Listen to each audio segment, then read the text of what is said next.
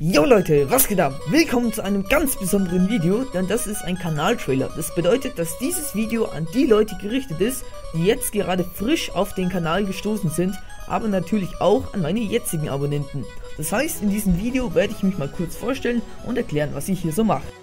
Mein Name ist Manuel und ich bin 15 Jahre alt und mache seit Juli 2015 auf YouTube Videos.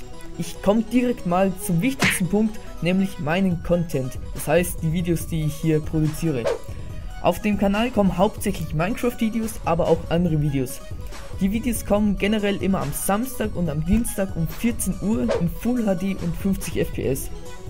Dass in diesen Videos 2 bis 3 Stunden Schneidearbeit drinnen steckt, ist für mich eine absolute Selbstverständlichkeit, denn durch aufwendiges Schneiden möchte ich meine Videos möglichst amüsant und originell gestalten.